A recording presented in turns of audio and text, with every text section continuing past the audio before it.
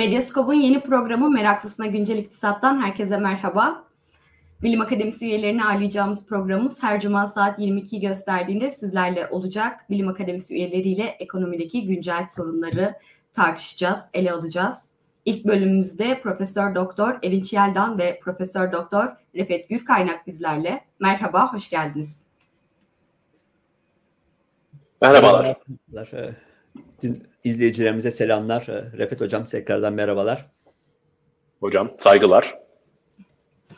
Ee, izleyicilerimizi bekletmeden konularımıza geçeyim ben hemen. Ee, geçtiğimiz günlerde Cumhurbaşkanı Recep Tayyip Erdoğan bir açıklamada bulundu. İhracatta rekor kırıldığını söyledi ve 225 milyar dolara ulaşıldığını belirtti. Türkiye'nin en hızlı büyüyen ülkeler arasında olduğunu söyledi. Fakat bir yandan da Türkiye'de ekonomik kriz yaşandığı dile getiriliyor. E, sizce Türkiye'de ekonomik kriz var mı ve rekor ihracattan, hızlı büyümeden bahsedilirken kriz kelimesinden, kriz sözcüğünden ne anlamamız gerekiyor? Erinç Yer'den sizinle başlayalım isterseniz. Ee, çok teşekkür ederim. Ee, hepimize e, iyi akşamlar. Ee, bu Bilim Akademisi'nin e, öncülüğünde Medyaskop aracılığıyla sizlere ulaşıyoruz. Sevgili Refet Gülkaynak Hoca ile beraber uzun yıllar Bilkent Üniversitesi'nde beraber olduk. Ee, şimdi e, ben sözlerime e, bir grafikle başlayacağım müsaade ederseniz. Rij'deki arkadaşlar bir nolu grafiğe koyarlarsa bu kriz e, tabii iktisatta çok kolay sarf edilen bir sözcük. İktisatçılar kriz olgusunu birkaç şekilde tanımlıyorlar. Bir çok klasik tanımladığımız işte e, kurtar bizi baba diye e, adlandıracağımız e, devlet aktif müdahale ediyor. Sabit kur rejimi var, enflasyon alıp başını gidiyor. Devlet gerekli müdahaleleri yapmaktan imtina ediyor. Yüksek enflasyon, yüksek devalüasyon eski jargonla bu birinci nesil krizler diye adlandırıyoruz. Sonra bir başka nesil krizler ortaya çıktı. Bunda da bir ahlaki tehlike söz konusu. Ee, belirsizlikler var, kurumlar e, e, görevlerini e, iyi tanımlanmamış, tanımlanmasına rağmen iyi işletilmiyor ve bir yerlerde bir rant yaratılıp o rant kötü bir şekilde kullanılınca bir kriz ortaya çıkıyor. Bunun tipik özdeği 1994 Meksika krizi, 1994 Türkiye krizi, 1997 Asya krizi gibi. Şimdi bir de içinde bulunduğumuz tipte bir kriz var. Bu da e, büyük durgunluk diye adlandırılıyor. Küresel e, e, konjöktürün e, Türkiye'ye yansımaları. E, her şey e, düşük tempoda e, seyrediyor. E, Türkiye'de de bunun yansıması e, topyekün bir kriz siyasi yönetememe krizi, hukuk krizi, ekonomi krizi, e, e, e, gelir dağılımındaki eşitsizliğin, cinsiyete bağlı eşitsizliğin, nesiller arasındaki eşitsizliğin ve bölgeler arasındaki eşitsizliğin hakim kılındığı topyekün bir kriz. Şimdi ben bu grafikte bu krizin göstergelerinden sadece bir tanesi bu meşhur döviz kuru. Hepimiz döviz kurunu takip eder olduk.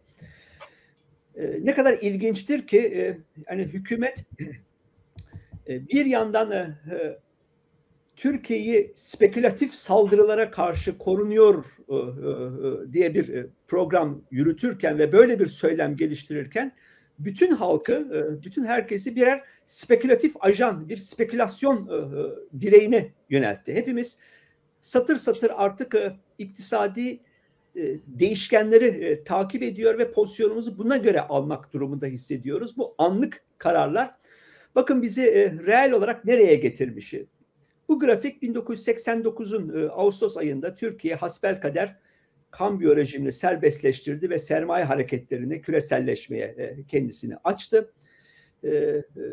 Burada enflasyondan arındırılmış olarak hani Ayşe teyze diyoruz ya üreticisiyle, halkıyla, yatırımcısıyla, tasarrufçısıyla, Ayşe teyzesiyle, işçisiyle, işvereniyle Türkiye'de e, bir doların enflasyondan arındırılmış reel farkı. Buna e, iktisatçılar satın alma gücü paritesi diyorlar. Burada eğer 1989'u 100 kabul edersek işte 1994'te bir yüzde 140 yani 140'a çıkmış endeks. Yüzde 40 reel olarak döviz pahalılanmış. Sonra tekrardan bir denge tutturulmuş 2000 yılına kadar. 2001 krizinde tekrardan bir üç aşağı beş yukarı aynı bir çivi noktası gibi yüzde 40 yüzde 45 bir reel döviz krizi yaşamışız. Şimdi baktığımız zaman işte bir kırmızı e, çizgiyle e, Cumhurbaşkanlığı hükümet sistemi de, rejimi denilen e, dönemi e, e, ön plana çıkardım. Ondan sonra döviz kurunda e, reel olarak ciddi bir kayıp yaşanıyor. E, Aralık 2021'de de şu anda işte sürekli dalgalanma içinde olan kurun e, bugünkü değerini kullanırsam 1994 ve 2001 krizine eş değer bir döviz kriziyle karşı karşıyayız. Şimdi bir e, e, bundan sonraki grafiğe geçersek e, bu ne demek? Eğer 2018'in e, başındaki e, e, kurun değeri 3 lira 77 kur, kuruşu. E, rejisör arkadaşı bir sonraki grafiğe eğer e, e bizi taşıyabilirse o 3.77'nin 2018'de enflasyondan arındırılmış olarak iki misline çıktığını e, göreceğiz. E, reel olarak elimizdeki paranın alım gücü neredeyse yarı yarıya. E, Merkez Bankası'nın e, e, daha geçen gün açıkladığı efektif kur diye takip ettiği yani Türk lirasının sadece dolara karşı bu resimde olduğu gibi değil gelişmiş gelişmekte olan bütün para birimlerine karşı değerini eğer alırsa Türk lirasının ki arkada muazzam bir hamasetle e, bu dile getiriliyor. Milli paramız, e, üzerinde bayrağımızın taşındığı e, paramız tam tersine Merkez Bankası'nın izlediği yanlış politikalar, Türkiye'nin yapısal olarak içine sürüklendiği konjöktürün, ithalata bağımlılık, teknoloji gerilik, orta ve düşük teknolojili mallara e, tuzağa düşmüş, hapsolmuş bir sanayi. Bir e, birden fazla Türkiye'nin e, karşımızda olduğu bir yoksulluk tuzağı, bir orta gelir tuzağı e, ve e, finansal olarak e, Türkiye'den kopmuş bir e, İstanbul e, hinterlandı. Bütün bunların bir araya geldiği sonuç Türkiye Cumhurbaşkanlığı hükümet sistemi e, denilen e, e, rejime sürüklendikten sonra milli parası, yerli ve milli e, itibarımız yabancı dövizler karşısında yarı yarıya değer kaybetmiş, değersizleştirilmiş durumda. E, milli paramız e, hamasetle e, e, biz e, Osmanlı'nın çocuklarıyız e, diye bir e, algı operasyonuyla değer kazanmıyor.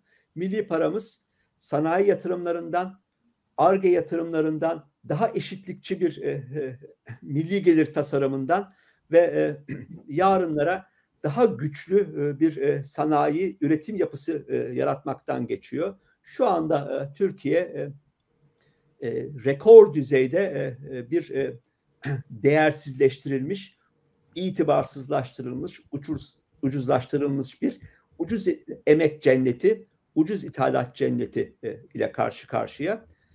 Sorunun ilk sorunuza geri dönersek e, e, sözü sevgili Refet Hoca'ya e, bırakmadan evvel e, böyle bir ülkenin malları elbette kapış kapış satın alınıyor. E, e, elbette ihracatımız artıyor. Bu bizi niye şaşırtsın ki? Fakat bu ihracat halkın e, e gelirine e, yansımayan e, bir e, ihracat geliri.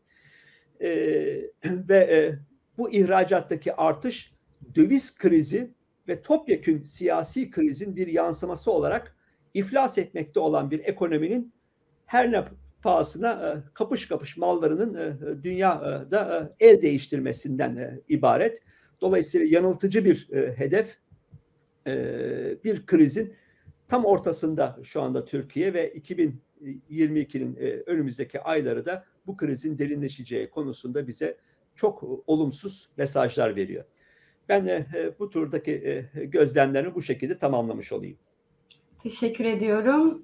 Refet Hocam, Türkiye'de ekonomik kriz var mı? Sizin de görüşlerinizi almak isterim ve Türkiye'de bir ekonomik kriz olduğunu düşünüyorsanız ardında yatan, arkasında yatan e, nedenleri de duymak isteriz. yani, kriz objektif tanımı olan bir şey değil. Hani e, şunu gördüğümüz zaman buna kriz denir gibi değil. O genel bir his. E, işler kötü gidiyor ama biraz da kötü gitmiyor. Çok kötü gidiyor. İşte hani yeterince kötü olduğundan kriz diyoruz hissi. Dolayısıyla e, hani e, uzmanlıkla bakıp bu krizdir denilecek bir şey değil. Genel bir his. Türkiye'de o his mevcut gözüküyor. Değil mi? E, ve sadece ekonomide değil. Yani ülkemizde bir yönetim krizi var. Biz bunun ekonomi tezahürünü görüyoruz. E, benim de hissim ve gördüğüm bu yönde. E, arkasında yatan e, derece derece şeyler var. Yani e, ben size hemen işte ya Merkez Bankası faiz indirdi falan diyebilirim ama o Merkez Bankası da kendi başına hiç yoktan faiz indirmiyor. Merkez Bankası'na faiz indirten bir sistem, e, oraya yapılan atamalar var. O atamalar da hiç yoktan olmuyor. Merkez Bankası'na yapılan atamayla ne bileyim işte dış yapılan atama birbirinden çok farklı şekillerde olan şeyler değiller. O işlerin bu şekilde olmasını sağlayan bir genel ülke yönetimi var e, vesaire. E, onun için de yani dönüp aslında ülke yönetimine bakmak doğru yer. E, e, ekonomide tabii bu çok kuvvetle hissediliyor. Bir, e, Erinç Hoca'nın uzunca bahsettiği menkul kıymet fiyatlarında, döviz fiyatlarında da diğer şeylerden önce gözüküyor. Yani mal ve hizmet fiyatları yavaş değişen şeyler. Dolayısıyla enflasyon henüz sadece %36 artmışken liranın değerinin bir günde çok hızlı bir şekilde oynayabildiğini görüyoruz. Dolayısıyla önden döviz kurlarında gördüğümüz bazı şeyler arkadan e, diğer iktisadi büyüklüklerde de görünür hale geliyorlar. E, burada bir takım şeyler e, bu sistem içerisinde kaçınılmaz gözüküyor. Yani Türkiye'nin genel adalet sistemi, genel e, siyasi güvensizliği, ülke riski nedeniyle yüksek yatırım olması bu sistem içinde pek mümkün değil. Yani yatırım uzun vadeli bir şey. Siz varlığınızı getirip bağlıyorsunuz buraya. Ve bu ülkede şu anda bağırıyor. Yapma bunu. İşte malına el konur. Başına neyin geleceğini tahmin edemezsin. Hani şunu görüyoruz. Değil mi? İnsanlar Türkiye'den gitmeye çalışıyorlar. İyi eğitimli insanlar Türkiye'den ayrılmaya çalışıyorlar. E insanlar kendilerinin durmak istemediği yerde yatırım yapmayacaklar. Bunu görmek için iktisatçı olmaya gerek yok. Ee, ama bunun içinde dahi bizim geçtiğimiz e, 3-4 ayda gördüğümüz rezaleti görmek zorunda değildik. Yani burada gidip Merkez Bankası'na yaptırılan işe e, dikkatle bakmak, buna e, parmak basmak gerekiyor. E, yani burada da çeşitli yerlerde bu yeterince konuşuldu ama söylemekte fayda var. Hani faizi bile indirmeyi becerebilmiş değiller aslında. O kadar rezil bir şekilde iş yapılıyor ki Merkez Bankası ben kendi faizimi %14'e indirdim dediği zaman Merkez Bankası'nın kontrol ettiği faiz bankalar arası para piyasasındaki faizi belirlemeye yarayan faizlerden bir tanesi diyelim. ya da nasıl yapıldığına bağlı olarak o faizi belirliyor diyelim. Ee, hani bizim gidip borç aldığımız, borç verdiğimiz bir piyasa değil bu. Siz gittiğiniz zaman mevduat faiziyle bankaya borç veriyorsunuz. Kredi faiziyle bankadan borç alıyorsunuz. Değil mi? Ve yani hani hiç kimsenin aklına gelmemiş olabilir maalesef gerçekten. Ya ben Merkez Bankası'na faizi 14'e indirtsem enflasyonun %36 olduğu yerde kim kimi 14 ile borç verecek ya? Bu zor bir soru değil. Hakikaten hani enflasyonun %36 olduğu yerde ben faiz %14 olacak dediğim zaman bu olabilir mi? Ya ben yapmam, siz yapmazsanız kimse de yapmıyor zaten. Dolayısıyla Türkiye'de faizler yükseliyorlar ve az da değil, çok yükseliyorlar bu parasal aktarım mekanizmasının kırılması. Merkez Bankası normalde aslında kimsenin aldırmadığı küçücük bir faizi kontrol ederek daha uzun vadeli diğer faizleri etkilemek yoluyla iktisadi faaliyete etkide bulunuyor. Siz eğer bizimdeki gibi korkunç rezillikte merkez bankacılığı yaparsanız o zaman sizin kontrol ettiğiniz faizle diğer faizler arasındaki bağı kendi elinizle kopartıyorsunuz. Yaptığınız iyice hiçbir işe yaramaz hale geliyor. Dolayısıyla burada e, hani şimdi çok uzak geçmiş gibi geliyor ama mesela yazın orman yangınları varken de bir kriz hissimiz vardı bizim. Bu iktisatla alakalı bir şey değil ama gene ülkenin genel yönetimiyle alakalı bir şeydi. Aa bak THK ne hale gelmiş. İşte yangın söndürücü uçağımız yok. Ya ülkenin haline bak. Tamam, şimdi o zaman orman yangını üzerinden görüyorduk. Şimdi işte kur yangını üzerinden görüyoruz. A- aynı şeyler aslında bunlar. Dolayısıyla tabii e, gene yani bunun bir objektif ölçüsü olmamakla beraber ben de bundan bahsederken iktisadi kriz diye bahsediyorum. Nedeni e, kısa nedeni Merkez Bankası, doğru nedeni Türkiye'nin yönetim hali. Ee, hocanın söylediğine iki kelimeyle şu ektere ben bulunayım. Yani Türkiye'de bir ihracat artışı geçen sene oldu gerçekten. Üç şey bir araya geldiği için. Türkiye'nin ihracatı döviz kuruna o kadar da hassas değil. Fakat lira reel olarak gerçekten çok değer kaybetti. Orada kullanmakta fayda olan kavramlardan bir tanesi dışişler haddi. Yani üç aşağı beş yukarı verdiğinizin karşısında ne alıyorsunuz? Biz fiilen kendi elimizle ya biz emeğimizi size bedavaya vereceğiz. Çalıştır beni burada al ürettiğimi karşılığında senden çok pahalıya alacağım. Dolayısıyla senden bir şey alamayacağım ama ben bunu yapmaya razıyım.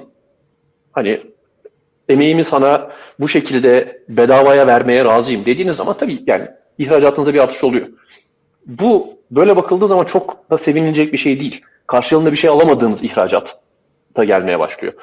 Öte yandan esas büyük itici güç bu değil. Batı Avrupa büyümeye başladı. Türkiye'nin ihracatının hassas olduğu şey bu. Bizim büyük ihracat pazarımız Almanya başta olmak üzere Batı Avrupa. Orası büyüdüğü zaman biz her fiyattan satıyoruz zaten. Üçüncü şey de iç piyasa o kadar birbirine girdi ki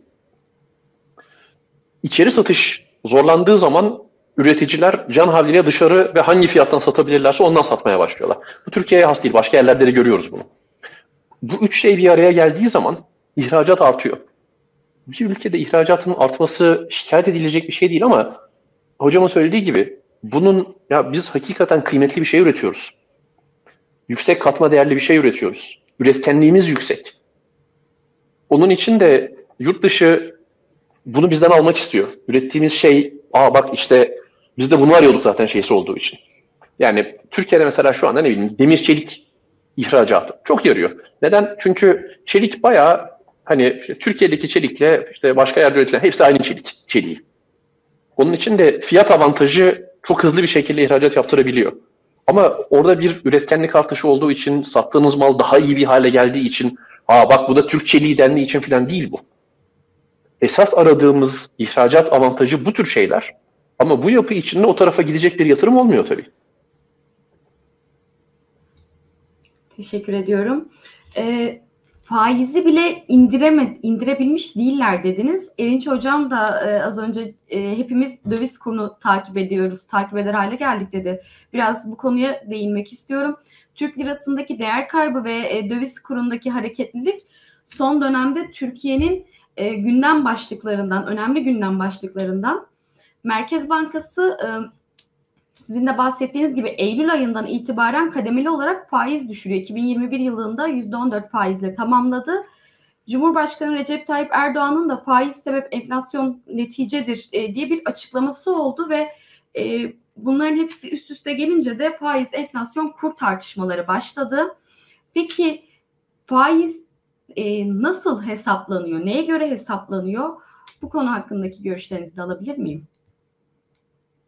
Enç Hocam isterseniz sizle devam edelim. E, hay hay tabii. E, e, Refet Hoca zaten e, e, bu konuda çok önemli bir iki ipucu verdi.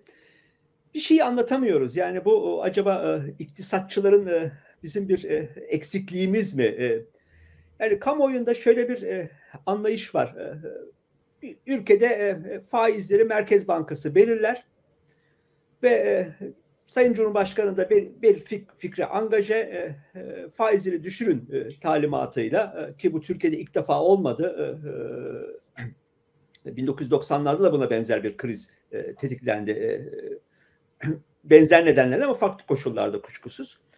Şimdi e, öyle zannediliyor ki yani Türkiye'de e, e Merkez Bankası faizleri e, düşürün talimatıyla faizi düşürdüğü vakit hakikaten yatırımcının yatırım kararı, ihracatçının e, ileriye dönük e, teknolojik e, pazarlama politikalarını etkileyen faiz kararı, tasarrufçuların faiz kararı Bütün bunlar da hepsi ucuz faiz ile aşağıya çekiliyor.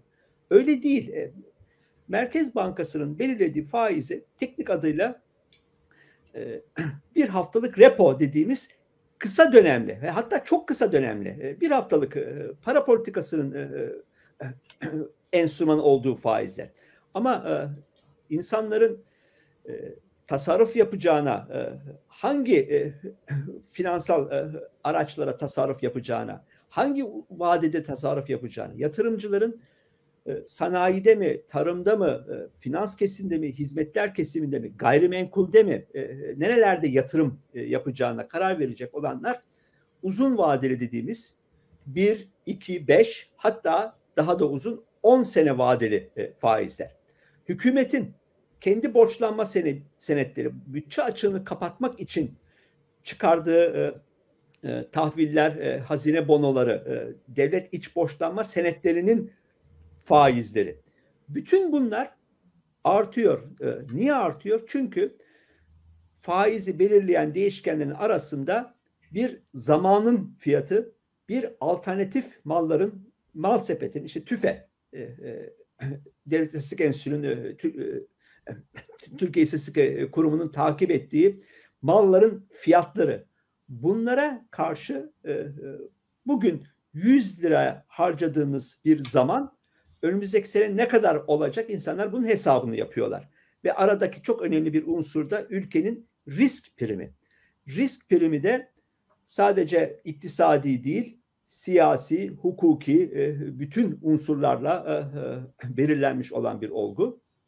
Merkez Bankası son derece yanlış, kötü bir Merkez Bankası politikasını bir de son derece yanlış ve kötü bir siyasi idareyle birleştiği vakit Türkiye'nin bu risk primi dediğimiz olgu teknik olarak uluslararası arenada bir Türkiye'nin borçlarını ödeyemez duruma düşmenin sigorta riski diye tanımlanan temerrüt faizi veya CDS diye tanımlanan faiz oranları yükseliyor. Ve bu riski üzerine koyduğunuz vakit aslında bir bakıyorsunuz Alice Harikalar Diyarındasınız. Ee, Merkez Bankası faizi düşürüyorum ben. Düşük faizle e, çalışacağım e, dedikçe Sayın Cumhurbaşkanı e, faizler düşük olacak. Ve bunun arkasına da bir takım dini öğeleri, bir takım milli unsurları da işin içine katıp bir mistik ses perdesi haline getirdiğinizde bu risk primi bilakis daha yükseliyor. Ve şu anda Türkiye e, e, sanılanın aksine çok daha yüksek kredi faizleri, devlet için çok daha yüksek devlet, devlet iç borçlanma senedi faizleri bunlar yüzde 22 yüzde 26 arasında e, e, değişiyor vadelerine bağlı olarak.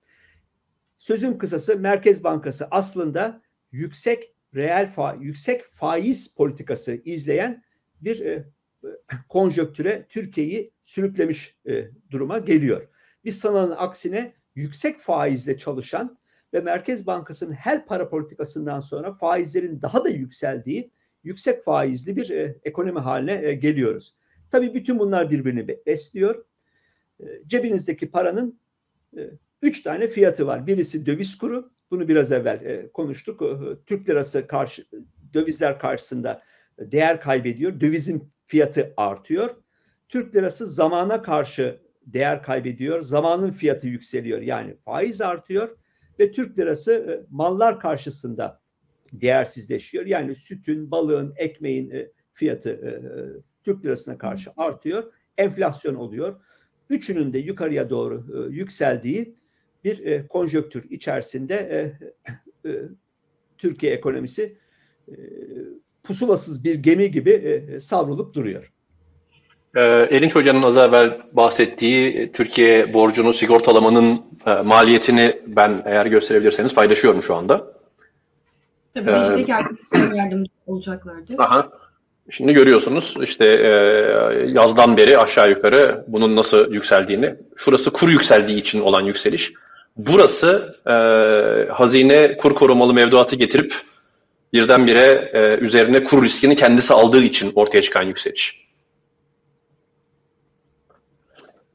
Dolayısıyla yani hocamın söylediğinin doğru olduğunu zaten biliyorduk ama e, hani görsel olarak da e, o yükselişin nasıl kuvvetli bir e, etki olduğunu e, izleyicilerimiz e, kendileri takdir etmişlerdir. E, hemen evet hocam size e, bir soru olacak.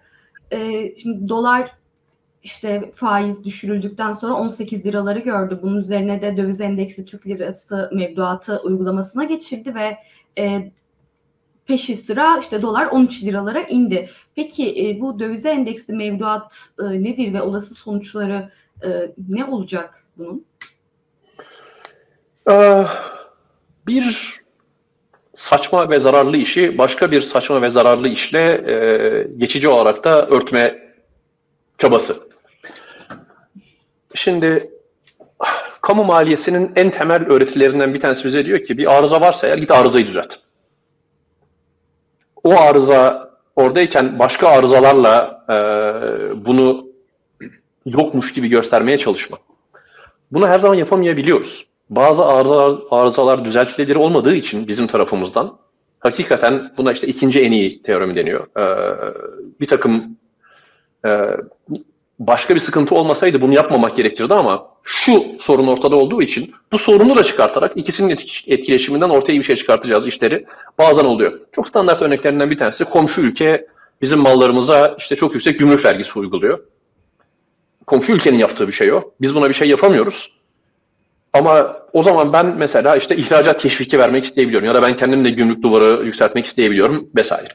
Şimdi burada da yani anlaşılamaz bir şey, gayet, anlaşılabilir bir şekilde bir e, hayır biz faizi indir, e, indirdik indirdik daha da indiririz ama yükseltmeyiz inadı yüzünden kuru bu kadar yükselten şey Merkez Bankası'nın ben kendi paramı kıymetli tutacak hiçbir şey yapmayacağım. Bir ikiz ben kıymetsizleştireceğim bunu demesi. Faizi indirmek bunu yapıyor. Değil mi? Yani çünkü nihayetinde şunu hepimiz anlıyoruz. Bunu düşünmediyseniz bir saniye düşünmek rahatsızlık vereceğim önemli bir şey. Para dediğimiz şey kıymetsiz bir şey. Abuk sabuk bir kağıt parçası.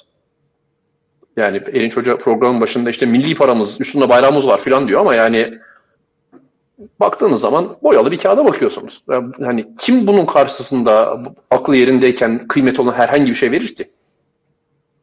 O parayı para yapan şey gerçekten bir devletin Merkez Bankası eliyle ben bunun kıymetli olmasını sağlamaya devam edeceğim. Sen bunu para diye kabul et, yarın başkası da para diye kabul edecek. Bunun olmasını da ben sağlayacağım demesi. Onun için zaten şimdi işte İngiltere Merkez Bankası faiz arttırmaya başladı. Fed ben arttıracağım diyor. Çünkü bu merkez bankaları da kendi ülkelerinde enflasyon yükselmekte olduğunu, paralarının değer kaybetmekte olduğunu mallar hizmetler karşısında ve Merkez Bankası'nın vazifesinin de bunun olmasına engel olmak olduğunu biliyorlar. Buna göre iş yapıyorlar. E, Türkiye'de gördüğümüz bizim Merkez Bankamız kendi eliyle yani, yani umurunda değil. Enflasyon yükselmiş mi? Tamam ben Türk lirası tutmanın sizin için ödülünü, faiz bu. Daha da aşağı çekeceğim. Daha da kıymetsiz hale getireceğim parayı. Ne kadar kıymetsiz hale gelebilir? Valla en nihayetinde baktığınız şey ya bu para değil boyalı kağıt dediğiniz zaman onun kıymeti sıfır. Dolayısıyla fiyatlar da sonsuza gidiyorlar. Döviz kurları da diğer paralar karşısındaki değeri de sıfıra. Dolayısıyla kur sonsuza gidiyor. Şimdi hal böyleyken Merkez Bankası ben bu parayı para olarak kıymetli bir şey haline getirecek işimi yapmayacağım. Bilakis ben kıymetsizleştireceğim derken yapılacak hiçbir politikanın orta vadede dahi kalıcı olarak lirayı kıymeti tutamayacağını görüyorsunuz. Ne enflasyonu kontrol edebilirsiniz ne kuru kontrol edebilirsiniz. Ki bunların ikisi aynı şey. Yani işte kur enflasyona yol açıyor, hayır enflasyon kura yol açıyor falan değil. Para politikanız ikisine birden yol açıyor. e, hal böyleyken bir şekilde bir e, hükümette şey hissi var. Yani işte faiz ellemeyeceğiz. Dolayısıyla biz kendi elimizle bir taraftan burada bu yangına benzin dökeceğiz. Bir taraftan da fazla yanmasın diye bir şeyler yapacağız. Yapamazsın bir noktada patlayacak o. Ama yapılan işlerden bir tanesi tamam biz görüyoruz. Herkes ferlik ferlik liradan kaçıyor. Liradan kaçarken de hani ellerindeki varlık yok olmasın, kuşa dönmesin diye kıymetini koruyacak şeylere gidiyorlar. Ne o? E arkasında doğru düzgün Merkez Bankası olan diğer paralar. Dolayısıyla işte euro bulan euro alıyor, dolar bulan dolar alıyor. Yani lira bütün paralara karşı değer kaybetti biliyorsunuz. Dolara karşı değil. Şimdi e, bunu nasıl engelleyeceğiz? İki şey birden oluyor tabii. Yani bir tanesi ya benim bir tasarrufum var aman bu yok olmasın enflasyonu görüyorum ne yapacağımı bilmiyorum. İşte dolar alayım altın alayım, euro alayım, ne bulursam onu alayım'a geliyor. Bir tanesi de burada durmadan yükselen bir şey var. Dün alan bugün çok para kazandı. Yarın da böyle olacak. Ben de kazanayım diye giren, spekülatif amaçla giren insanlar. Buna nasıl engel oluruz? Valla o spekülasyondan mahrum kalmayacağın bir araç önereyim sana. Sen gel lira olarak tut burada mevduatını. Döviz tevdiat hesabına gitme. Ama 3 ay vadeden başlayarak, 3 ayla 1 yıl arasındaki vadelerde var bu. Ee, vade geldiğinde eğer senin aldığın faiz kur yükselişinin altındaysa o zaman aradaki farkı hazine tamamlayacak senin için. Şimdi bu dolara bağlı değişken faizli bir ürün çıkartıyorsunuz ortaya. Değişken faiz zaten yeni icat edilmiyor. Yani değişken faizli bir sürü şey var. İşte eskiden Libor'a bağlı olurdu, başka faizlere bağlı olabilir. Yani e, bunlara dolara bağlı. Ve insanlar tabii dolar artacak beklentisi olduğu için yüksek bir faiz hissi vererek çekiyorsunuz buraya. Bunun bir sonucu şu, bir süre insanlar gür gür gür dolara gideceklerine bu döviz korumalı, kur korumalı mevduata gidiyorlar. Şunu görüyoruz. Hiç kimse dövizleri bozdurup buraya gitmiyor. Yani Türkiye'deki döviz tevdiat hesabı büyüklüklerinin e, haftalık zaman serisi var. Baktığınız zaman bunun azalmadığını görüyoruz. Ama elbette elinde lirası olan ve lira hesabı açacak olan herkes istersen bu lira hesabını aç, işte şu kadar faizi var. İstersen bu lira hesabını aç, bu kadar faizi var. Bir de eğer kur bundan fazla yükselirse aradaki farkı hazine ödeyecek sana dendiği zaman herkes bu tarafa doğru gidiyor. Onun için de lira mevduatı kendi içinde bu yeni araca doğru ilerliyor. Şimdi yüksek değil meblalar. Yani henüz daha 100 milyar lira olmadı burası. Yani bilgi için Türkiye'nin mevduat toplamı aşağı yukarı 5,2 trilyon lira. Dolayısıyla hani orada işte çok büyük bir akış var falan değil. Olmaması da iyi bir şey. Çünkü bu tarafa gittikçe hazine bir saatli bombanın üstüne oturmaya başlıyor. Şunu görüyoruz. Hazinenin yüksek bir garantiyi ödeyecek kuvveti yok. Zaten kendi hazinemiz rahat rahat borç alabilir bir durumda değil. Dövizle borç alırsa demin gördüğünüz kredi, e, kredi default swap yani e, garanti farkını da ödemek zorunda. Amerikan hazinesi %1,7 ile dolarla borç alıyor. E, Türkiye hazinesi %7,5 ile alıyor aynı vadede. Gene dolarla. Lira cinsinden aldığı zaman işte %23-24 ile borç alıyor hazine. Ki faizi azaltmadan önce %18'de falan oluyordu aynı vadelerde. Rezalet. Ama mesele şuna geliyor. Hazine bir garanti veriyor. Diyor ki kur yükselirse ben sana büyük ödemeler yapacağım.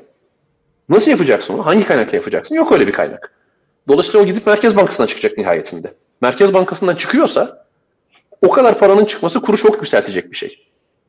Bu iktisatçıların denge dediği şey. Yani şunu beklerseniz eğer ya bir dakika kur bir kere daha 16'ya 17'ye gidecek olsa hazine nasıl bir yük biliyor? Çok büyük. O yükü hazine karşılayabilir mi? Hayır. Ne yapacak? Ortalığa deli gibi lira çıkması gerekecek o zaman. O kadar liranın ortaya çıkmasının sonucu ne? Kurun yükselmesi. Ha kur yükselecek o zaman. Ve sadece döviz borcu olana zarar verdi değil. Sadece aa bak işte yanında faiz de yükseldi, hazine borçlanırken daha yüksek faizle borç alıyor değil. Bu sefer artık sadece kendi borcu üzerinden değil, mevduat üzerinden bir boyunduruk altına girmiş olan hazineyi çok zorlayacak bir sistem ortaya çıktı. Bu berbat bir sistem berbat bir sistem. Ve sadece hani ya faizi indirdik, her şeyi patlattık, bu kadar da sırıtmasın diye birazcık ortalığı yumuşatacak bir şey. Ama çok kısa süre işe yarayabilecek bir şey. Yani ben doğru söyleyeyim, bu ilan edildiği zaman ben ertesi günde erken seçim ilan edileceğini düşünüyordum. Böyle yapılmamış olmasını anlamak da kolay değil. Çünkü aslında sadece sorunu ötelemiyorsunuz. Sorunu çok büyüterek öteliyorsunuz. Kamu borcu sorunu haline getirerek öteliyorsunuz. Ama yapılan bu şu anda. Teşekkür ediyorum. Hazineyi çok zorlayacak bir sistem olduğunu ve e, kısa süreli bir çözüm sunduğunu belirttiniz. E, klasik e, geleneksel bir soruyla devam etmek istiyorum. En başta ekonomik büyümeden e, bahsetmiştik. Bu e, ekonomik büyüme sürdürülebilir mi? Cari açık, dış borçlanma, e, gelir dağılımı, e, istihdam etkileri nasıl olur? Eviç e, Yeldan'la başlayabiliriz. Ee, uzun karmaşık bir soru tam bir e, doktora tez konusu e, e bir e, toplu eserler sorusu. Kısaca toparlamaya çalışayım. Belki işin özünde hani hep vatandaş bunu niye hissetmiyor? Madem büyüyoruz, enflasyonu çok yakından hissediyor, büyümeyi hissetmiyor bölümü önemli olabilir. Dünya Bankası çok yakınlarda bir çalışma yaptı Türkiye e, üzerine. 2020'yi e, cek altına aldılar. 2020'de Covid krizi altında nüfusun en düşük gelirli yüzde yirmilik kesimi tüketimi yüzde beş buçukla yüzde on dört buçuk arasında gerilemiş durumda idi. E, Dünya Bankası'nın e, hesabına göre. İstihdamı bu kesimin istihdamı yüzde otuz iki yüzde kırk beş arasında gerilemiş idi. E, literatürde buna e, K tipi büyüme diyoruz. E, artık e, işte V, W, M alfabeteki harfler e, teker teker elimine edildi. Şimdi K tipi yani zengin giderek daha zengin, yoksul giderek daha yoksul. Orta sınıfların çözüldüğü, gelir eşitsizliğinin şiddetlendiği bir büyüme biçimiyle karşı karşıyayız. Buna Birleşmiş Milletler Ticaret ve e, Kalkınma Konferansı e, e, örgütü UNCTAD timsah kapitalizmi olarak adlandırıyor. Yani bir timsahın çeneleri açılmış gibi. Ücretli emeğin milli gelirden aldığı pay 2019'da %31.2 TÜİK'in resmi rakamları. Şimdi bu rakam %27.9'a düşmüş durumda. Bu dönemde Türkiye %10'un üzerinde büyümesine rağmen işletme artığı diye tanımladığımız kar, faiz, rant, sermaye gelirlerinin payı ise yüzde 56'dan yüzde 64'e e, çıkmış durumda. Türkiye eşitsiz olarak büyüyor. E, büyürken e, istihdam e, yeterince artmıyor. İstihdam dostu olmayan bir büyüme e, konjöktürüyle karşı karşıyayız. Bunun arkasında çok derin e, nedenler var. E, Türkiye'nin ithalata dayalı, sermaye yoğun e, e büyüme e, e teknolojisi e, dayalı bir e, e, konjöktüre sürüklenmiş olması, yıllar itibar, yılların biriktirdiği problemler. Ama e, örneğin e, gene TÜİK'in resmi rakamları e, resmi işsizlik e, 3 milyon 717 bin kişi. Fakat geniş tanımlı e, Uluslararası Çalışma Örgütü'nün ILO'nun e, bir e, metodolojisini artık izlemeye başladı e, TÜİK. Bununla beraber disk e, araştırma dairesindeki e, meslektaşlarımız da e, bunu e, yakından izliyorlar. Geniş tanımlı atıl işsizlik. 8 milyon 281 bin kişi e, iş gücümüzün e, %22.8'i, %23'ü. Bu nedir geniş tanımlı işsizlik? İşte potansiyel iş gücü. E, e, yani iş aramaktan vazgeçmiş ama iş aramaya, e, iş e, bulursa bir hafta içinde çalışmaya hazır. Ama iş aramadığı için işsiz değil aslında teknik olarak. Resmi işsizler bir de zamana bağlı e, e, istihdamdan kay, e, kaynaklanan e, işsizlik biçimi e, TÜİK'in tanımıyla. E, bu yüzde 22.8 fakat e, hani şeytanın e, e, gizli ayrıntılarda e, kadın e, e, özellikle genç kadınlar arasında bu işsizlik yüzde otuza çıkıyor. Erkeklerde yüzde on üç nokta sekize düşüyor.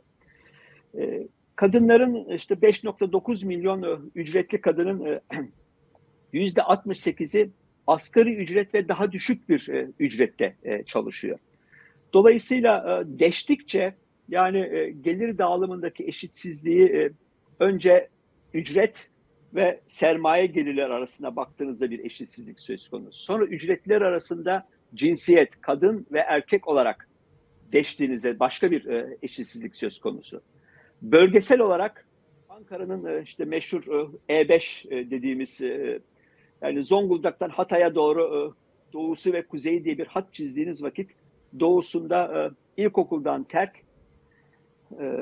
yok sermaye yok, finans yok, e, ulaşım olanakları yok, e, e, eğitim yok, vasıfsız bir iş gücü ne terk edilmiş bir oy deposu, ucuz iş gücü deposu sürekli köyden kente göçlerle metropolün etrafında bir enformal emek marjinalize olmuş bir emek ile beslenen bir yoksulluk tuzağına düşmüş bir Türkiye.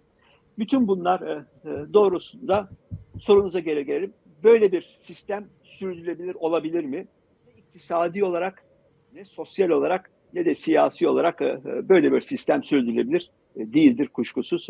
Bunun arkasında çok derin yapısal nedenleri giderek üretilen eşitsizliğin giderek üretildiği bir çarpık büyüme konjöktürü yatıyor ve sürdürülebilir olmasına da kuşkusuz imkan yok.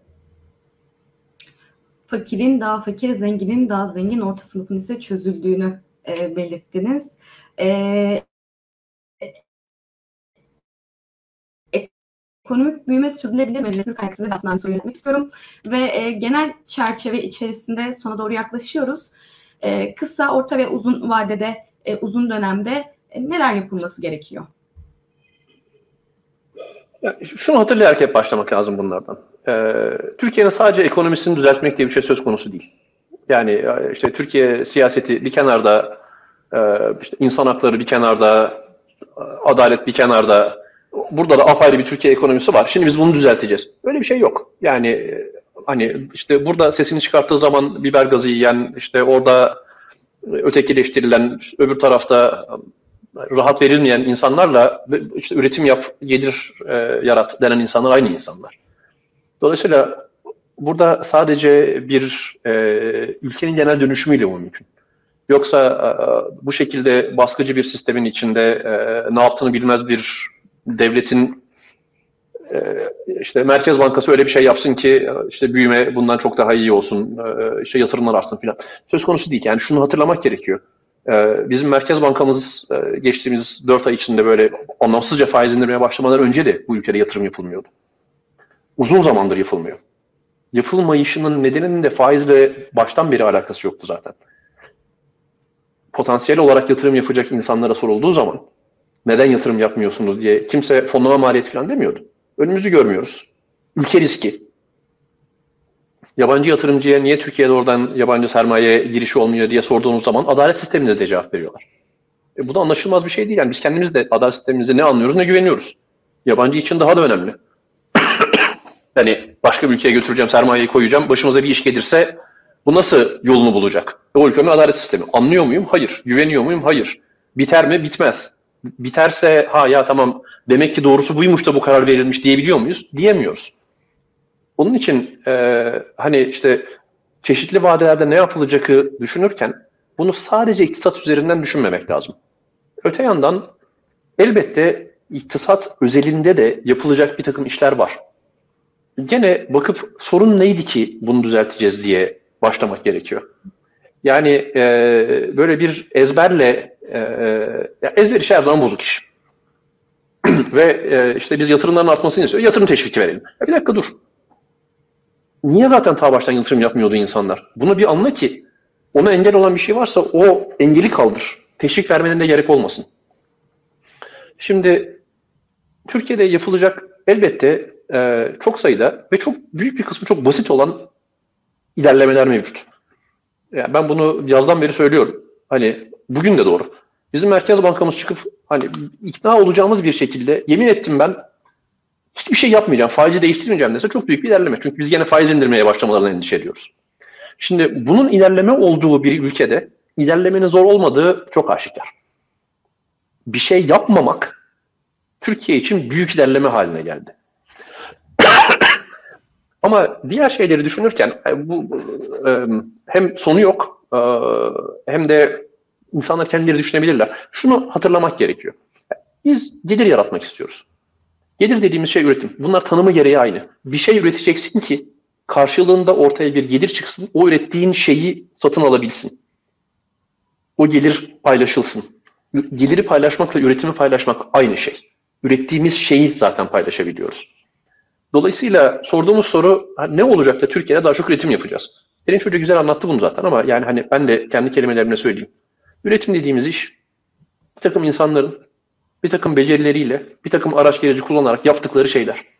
Dolayısıyla insanlar, beceriler, araç gereç gerekiyor.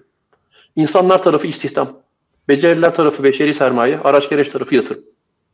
Yatırımı engel olan şey Türkiye'de faiz değil. Yatırıma engel olan şey Türkiye'de faiz değil. Ülkenin hali. Bu ülke kendi insanına güven verir bir hale geldiği zaman Türkiye'de yatırım zaten artacak. Hatta o zaman derdimiz yurt dışından yağan sermayeyi nasıl kontrol edeceğiz olacak. Çünkü bu kurlarla memleket bedava. Çok kuvvetli bir potansiyel var. Genel olarak ülkenin kendisi büyük bir risk faktörü olduğu için dünyanın geri kalanı dışarıda duruyor. O risk azaldığı zaman Türkiye çok kuvvetli bir sermaye girişi olacak. 2001 sonrasında mesela bunu idare etmeyi beceremedik. Bu sefer doğru yapmanız gereken şey o. Ama ondan başka yani dönüp bakın Ercim, Merkez Bankası çıkacak diyecek ki ya benim bir tane işim var. Aha burada da kanun var. O kanun hala var bu arada. Merkez Bankası'nın görevi fiyat istikrarını sağlamak ve sürdürmektir yazıyor orada. Ben bunu yapacağım. Başka bir şey yapmayacağım. Bunu diyecek Merkez Bankacı lazım. Atla deve değil. O zaten faizi kendi kendine indiriyor. Piyasa faizleri tak geri düşecek o zaman. Ama ondan sonra da işte bu Eniş Hoca'nın bahsettiği iş gücüne katılımı arttırmak zorundayız. Türkiye'de 4 milyon işsiz, 11 milyon da ev kadını var. Yani hani sorun arıyorsanız işsizlikten önce bakacağımız yer ya bu insanlar iş gücüne niye giremiyorlar? İstanbul Belediyesi'nin yaptığı bu kreş yapma işini ben bu bakımdan çok beğeniyorum. Türkiye ekonomisine en çok katkısı olacak şeylerden bir tanesi. Hem çocuk baktığı için iş gücüne giremeyen kadınlar için iyi hem de bir dünya veriden biliyoruz ki kreşe gitmiş olan çocukların daha sonraki hayat becerileri, başarıları daha yüksek oluyor. Ama bu tür şeyleri düşünmek gerekiyor. Bunu iktisat politikası diye düşünmezseniz iktisat politikasının ta kendisi. Eğitim tarafında hani en çok çalışan, en çok ödev yapan, en çok sabahlayan, işte en çok gözleri belermiş öğrenciler bizde. Aldıkları eğitimden en az şey kazanan öğrenciler de bizde. Yani bizdeki sınav sistemiyle çocukların canını okuyoruz. Ondan sonra dünyanın geri kalanındaki yaşıtlarıyla aynı sınava soktuğumuz zaman dökülüyorlar. Bunu düzeltmek çok zor bir şey değil. Hani Milli Eğitim Bakanlığı öğretmenlere bildiğiniz gibi yapın dese büyük ilerleme olacak. Talim terbiyenin yaptırdığı abuk sabuk şeylerden kurtulsak büyük ilerleme. Yatırım tarafında en nihayetinde şuna geliyor orada da. İşte ya bu mahkeme yanlış yapabilir, şurada bilinen ne olur ama sonunda bir makul bir zamanda bitecek bir adli sürecin sonunda hak yerini bulur. Ankara'da hakimler var. Bunu dedirtebildiğiniz zaman bu ülkede yatırımlar çok hızlı bir şekilde artacak zaten. Ama dikkatinizi çekiyorsa bunları konuşurken işte kur 3 olursa, hayır 13 olursa, işte Merkez Bankası bit bit bit filan onların hepsi aradaki bir takım girdiler. Fakat hatırlamak gereken şey hep şu memleketin insanı ne olacak da bu ülkede oturayım ben bir iş yapayım. Yaptığım işin bir karşılığı olur diyebilir hale gelecek. O olduktan sonrası kolay zaten. Teşekkür ederim. Biz teşekkür ediyoruz. Ee, bitirmeden önce Erinçel'den size de son kez bir söz hakkı e, veriyorum. Siz bu konu hakkında neler düşünüyorsunuz? E, Refet gayet güzel e, e, bence e, oturumumuzu e, özetledi. E, hatırlarsanız sözümüze e, bundan yaklaşık bir saat evvel e, bu e, bir iktisadi kriz değil, e, topyekün bir e, kriz sözleriyle başladık. Dolayısıyla hukukun üstünlüğü, eğitimin kalitesi, istihdamın kalitesi ve büyümenin kalitesi yani sermaye artırımının kalitesi bunlar hepsi birbirine bağlı olgular. Dolayısıyla sadece tek bir cephede değil, bütün cephelerde gelişmeyi, çağdaşlaşmayı e, e, talep etmek durumundayız. Bu program e, ve bu programlar dizisi e, bu amaçla e, yola çıkıyor olacak. Ben e, bütün e, dinleyen arkadaşlarımıza e, ve bu yayında emeği geçen bütün ekibe huzurunuza teşekkür ediyorum. Refet Hocama da tekrardan dostça selamlar İstanbul'da.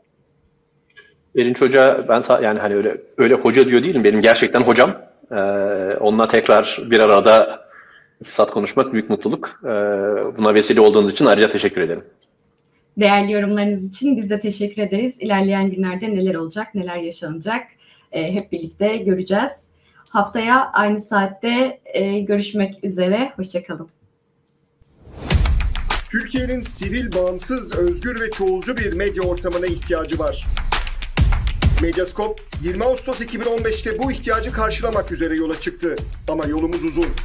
Bu yolculukta bize Patreon veya YouTube'un katıl butonu üzerinden katkıda bulunabilirsiniz. Destek verin, sizinle güçlenelim.